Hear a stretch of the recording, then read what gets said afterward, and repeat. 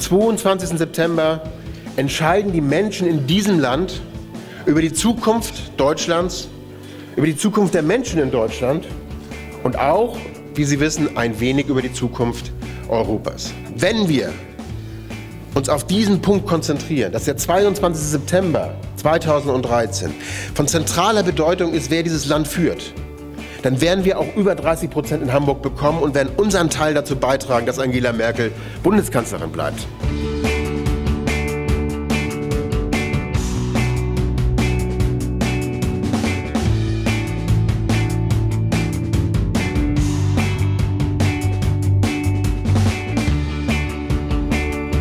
Uns gilt es, das zu verteidigen, was wir erreicht haben und eine Perspektive in die Zukunft zu legen. Aber jetzt geht es mit diesem Schwung, den man heute gewonnen hat, in die nächste Etappe. Jetzt gilt es darum, den Wahlkreis zu gewinnen.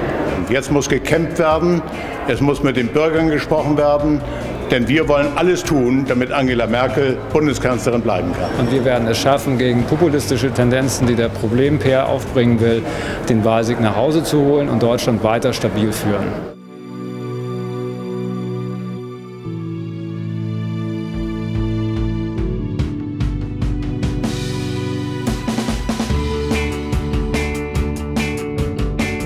Wir haben als Hamburger CDU die richtigen Kandidaten, die richtige politische Strategie, die richtigen Botschaften und mit Angela Merkel die richtige Bundeskanzlerin für Deutschland. Ich freue mich auf den Wahlkampf. Das ist doch klar. Die junge Union ist der Wahlkampfmotor der CDU.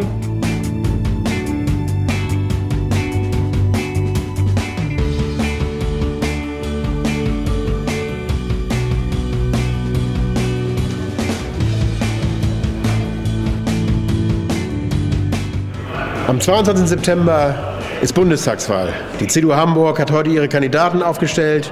Wir sind gut aufgestellt. Wir gehen jetzt sechs Monate an intensiven und guten Wahlkampf.